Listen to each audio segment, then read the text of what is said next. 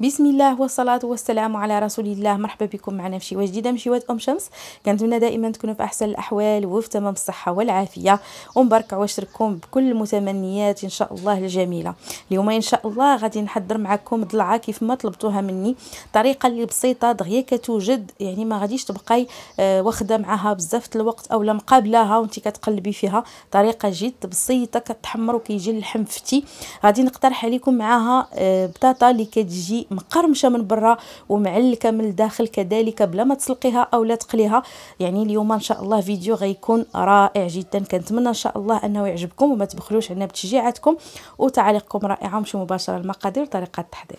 فبالنسبة للمكونات أول حاجة غنعملو هي لا ماريناد اللي غنرقدو فيها الحمى ديالنا باش كتعطينا نتيجة رائعة والحمى كتكون فتية ولذيذة. أول حاجة غادي نحتاجو هي التوابل. عندي بالنسبة للتوابل ربع ملعقة صغيرة يعني ربع ديال معلقه صغيرة ديال الابزار أو الفلفل الأسود. عندي نص ملعقة صغيرة ديال الكركم. عندي معلقة صغيرة مملوءة جيدا من بصل بودرة. كذلك ملعقة صغيرة مملوءة من التحميره أو البابريكا. عندي ملعقة صغيرة ديال الزعتر. وعندنا القليل من زعفران شعرة اولا الزعفران الحر. ممكن لما كانش متوفر تعملوا دويمة. آه، المهم فما تكثروش يعني غير شوية فقط. كذلك غادي نحتاجوا ثلاثة ضريسات ديال الثومه أولا ثلاثة سنينات على هذا الشكل معلقة كبيرة ديال صلصة الباربيكيو. كتعطي واحد لذة الشوا رائعة. معلقة كبيرة غير مملوءة بزاف يعني ديال الزبدة تكون بحرارة الغرفة. حك ديال اليوغورت طبيعي بدون سكر يعني تقريبا 110 غرام هنا في هذا. الحك وعندنا ربع كاس من زيت نباتي مخلط مع زيت الزيتون يعني واحد 40 غرام ديال الزيت مخلطة ما بين زيت الزيتون وزيت نباتي. ما تعملوش زيت الزيتون بوحدها ويعني باش ما تعطيكمش اللذه اللي تكون مجهده عندي كذلك القليل من الملح وبطبيعه الحال بطبيعه الحال اللحم اللي غادي نحتاجوه هنا غادي نستعمل آه، ضلعه اللي هي صغيرة يعني ماشي كبيرة بزاف. بالنسبة للطريقة أول حاجة كنعملو هي كناخذوا الضلعه ديالنا آه كيف ما كتلاحظوا كان أول حاجة كنديرو هي كنعملوا فيها فليحات. هذوك دريسات ديال الثومه كل درس كنقسموا على زوج. وهنا فغادي نأكد عليكم أنكم ما تكثروش الثومه باش ما لأن ما عاملينش حتى بالطنجيه باش ما ما يعني تعطي اللذه ديال الثومه بلا قياس. ضلعة صغيرة راه جوج دريسات حتى ثلاثة راه كافيين بزاف. غادي نبدأ نعمل فليحات هكا يعني ندخل الفلحة مزيان في اللحم وندخل داك نص دريس على هذا الشكل. راه ما كيبانش ابدا فاش كيطيب كيدوب في الداخل ديال اللحم وكيجي لذيذ. بالنسبة للناس اللي ما كتبغيش الطيبة ديال الثومه ممكن ما تعملوش هاد المرحلة. كما شفتوا هنا كنبقى نعمل دوك الفليحات وكندخل هذاك الدريسات الثومه مزيان يعني ما كنخليهمش يبانوا نهائيا باش فاش يذوبوا كيذوبوا لداخل. بحال هذا الشكل هكا غادي نخلي دابا الضلعه ديالنا على جنب وغنمشيو نحضروا لا ماريناد غادي ناخذ أول حاجة ديك معلقة ديال الزبدة كما قلت لكم تكون بحرارة الغرفة باش دغيا تخلط مع المكونات. غنضيف عليها معلقة كبيرة من صلصة الباربيكيو ممكن تعوضوها بصلصة الكيتشوب.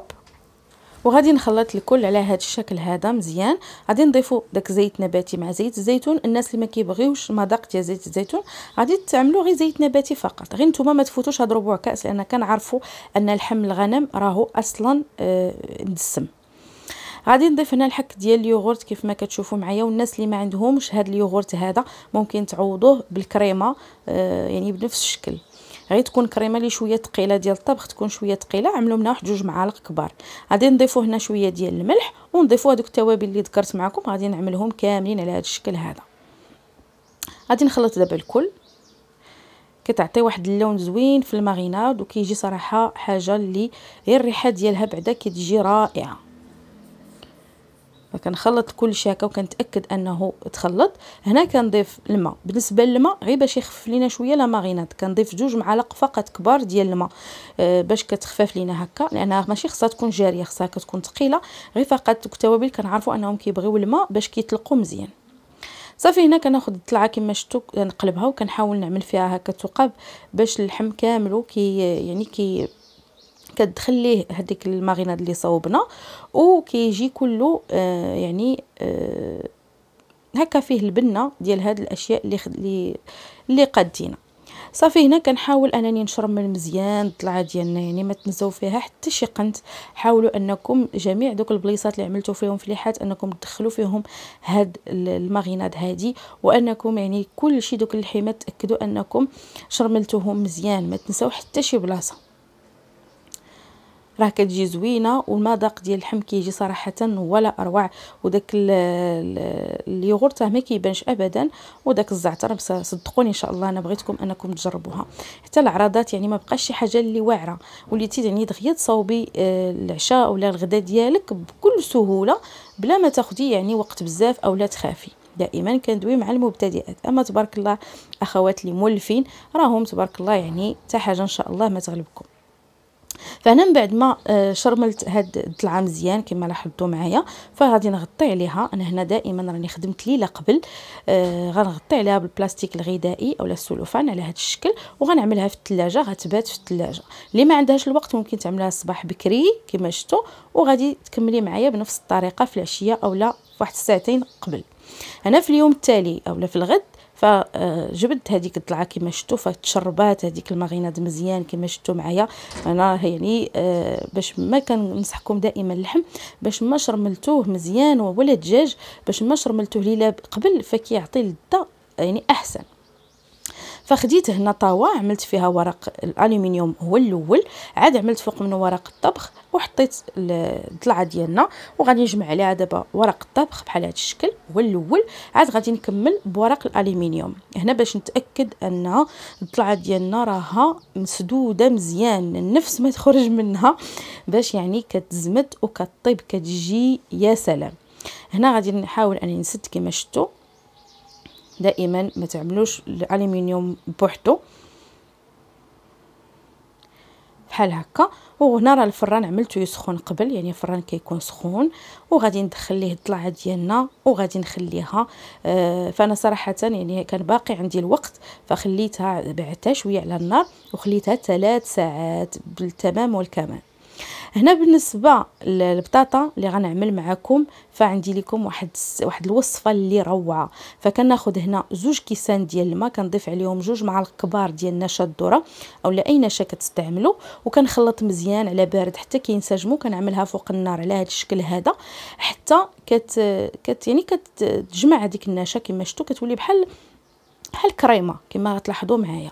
غتجيكم القضية شوية غريبة ولكن أكيد إن شاء الله إلا جربتوها ما باقيش غتستغناو عليها ما باقيش غتقليو البطاطا. من بعد ما كترجع لينا هكا كيف الكريمة كما شفتوا معايا مباشرة هنا غادي نضيف عليها المكونات اللي هما. شوية ديال الملحة شوية ديال الزعتر كيبقى اختياري الكمية. غير ما تكثروش ثاني باش ما يعطيكمش المرورة في البطاطا. يعني دائما ما تفوتوش واحد المعلقة صغيرة في هذه المكونات بحال هذا الشكل وكنخلط مزيان.